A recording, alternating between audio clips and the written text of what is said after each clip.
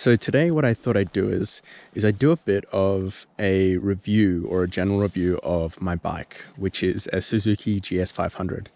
Um, I've had this bike for about two years now and I put probably about 25,000 kilometers on it.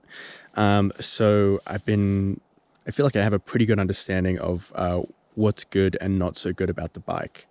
Um, I've also been doing quite a bit of maintenance. So I've done things like um, check the valve clearance in the engine and obviously doing oil changes.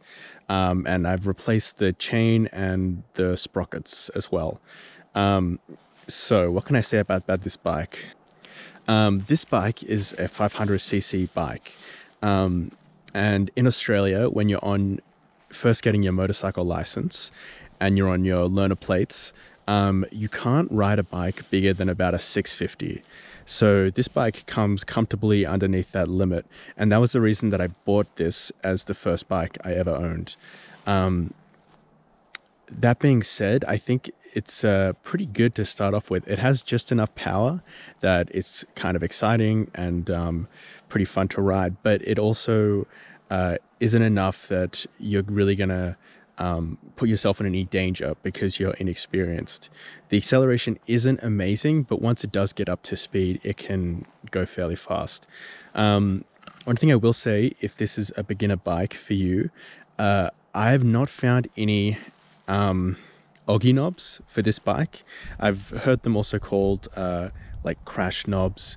Um, and those are basically the rubber knobs that you put on the side of a sports bike to stop it from being damaged when um, it falls over. Basically, once you take the fairing off this bike, what you'll see is um, there isn't really anywhere to attach uh, one of those knobs to. Underneath the fairing is some sort of support which hold the fairing on, but none of them are strong enough they could really take the weight of the bike. As a result, if you do drop this bike, odds are you will damage the fairing. You can see that I have dropped it quite a few times, mainly from a standstill. So there's a little bit of damage here and there um, on the bike. This isn't a problem. If it's your first, first bike, then you should expect that to happen. Although one thing that is frustrating is when you drop it, if you have these blinker lights on, um, what's going to happen is they're going to bend and the actual sort of mount or um, area that they're in around the fairing can crack. Um, this is sort of annoying because if it does crack, that's how the light is secured onto the bike.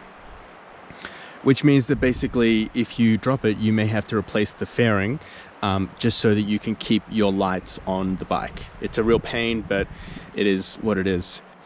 So as you can see, I have a lot of gear on my bike right now. Um, and I found that even though this is a sort of beginner level sports bike, um, you can actually stick a fair bit of gear on if you're pretty clever about how you do it. I've taken this bike on road trips um, a lot across a lot of the south um, of Australia um, and the southeast of Australia, and it's held up pretty well. I've really enjoyed it. Um, it's fun to ride. Uh, it handles pretty well. One thing I've done um, because I am using this bike for touring is I've actually put some handlebar raisers on the bike. Um, part of this, uh, the reason for this is just so I'm in a bit more of an upright position when I'm riding the bike, um, which helps with uh, the comfort on a long trip. Um, unfortunately, I think this bike, it's actually quite hard to find things like uh, a frame to mount a top box on the back of a bike. Um, I actually welded one myself so that I could have a top box on this bike. But if you're buying a bike, this model bike, and you want a top box, you should just be aware that they're very hard to come by anymore. It doesn't seem to be anywhere you can order them from. Um, and you might have to try and find one secondhand which would be difficult. There's also no panniers for this bike or pannier racks. So if you really do want to put some panniers on the bike like I have right now, or some soft bags, you're going to have to get the kind that just rest against the side of the bike, um, which seems to be fine so far. I've used that quite a bit. And um, apart from a little bit of like smudging on the paint, it doesn't seem to be much of a problem for the bike. Uh, the bike has about 11 or 13 liters. It holds about 11 or 13 liters of fuel, which is quite good. I tend to get about 350 kilometers on the bike as I've been riding. Um, on one tank of fuel, which isn't too bad. It might not be as much as you'd want for if you're doing a really long road trip, but it seems to be quite good as well. Um, as far as the ease of doing maintenance, um, you do have to take the cowling or the fairing off to change the oil. Um, but that's not really a big deal. I believe that it's one of the easier bikes to do maintenance on, especially if you're a beginner like me and you want to start learning how to do maintenance. Um, I think it's actually quite easy to access the engine and the spark plugs and all of that sort of stuff compared to other motorcycles. Um, I came into owning this bike with basically zero knowledge about mechanics and I've just sort of been picking it up and learning and teaching myself along the way. And that doesn't seem to have been much of a problem. Um, I've cleaned the carburetor and that wasn't too hard, although it was a little bit difficult. Um, and uh, I've done a few other basic jobs on the bike and it seems to be pretty good overall. Um, so the height of the seat is about 79 centimeters off the ground. So it's not a huge bike, although you will notice it's sort of a long bike. I've had people comment on that in the past, that it's quite long um, compared to other sort of smaller sports bikes. Um, and I suppose that is true. Uh, I don't find it particularly difficult to handle, even at low speeds.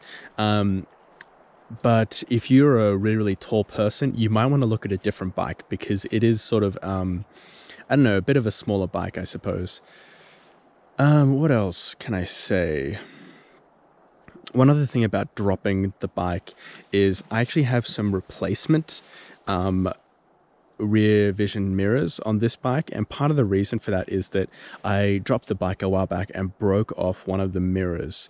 The original mirrors stuck really far out from the bike which is great for visibility but when you drop the bike basically it means I think they're a little bit more likely to break than other kinds of mirrors. These ones are a little bit further in um, so I think they'll if I do end up dropping the bike again I think uh, they'll probably be a little bit better in terms of that.